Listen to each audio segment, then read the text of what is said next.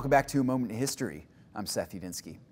In the early 16th century, the Christian church was in turmoil. For the last thousand years, the church had grown to be the dominant force in Europe, but during that time, it also descended into numerous theological errors. One of them turned out to be the main catalyst, actually, for Martin Luther's spark of outrage that turned into his 95 Theses, thus kickstarting the Protestant Reformation. This was the erroneous doctrine of indulgence sales, where sinners were told they could purchase their ticket or the ticket of a dead relative into heaven. Certain indulgences were allegedly worth more, which the church claimed would take off a greater number of years in purgatory, the place of temporal suffering after death, where sinners would need to still be purged of any remaining sins before they could enter heaven. This is a demonic doctrine, to be sure, and it was one that needed to be corrected. Now, the main propagator of indulgence sales was one of the most infamous villains of the church and its history, the Dominican friar and church charlatan known as Johann Tetzel. Tetzel was born in 1465, a generation before Luther. He entered the clergy as a young man and became a fiery Dominican preacher.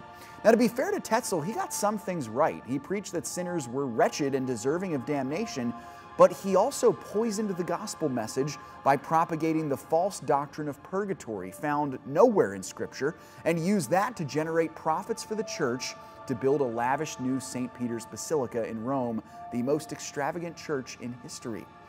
These profits came in the sale of indulgences.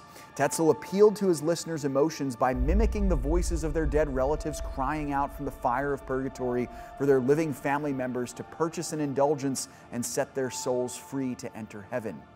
He used silly catchphrases such as so much grace for so little coin, and this infamous rhyme whenever a coin in the coffer rings, a soul from purgatory springs. Well, this abomination completely undercuts the gospel of grace, where we believe sinners are saved by Christ alone, through Christ alone, and in Christ alone. And Luther, who uh, would discover this beautiful gospel truth in Romans 1, was enraged.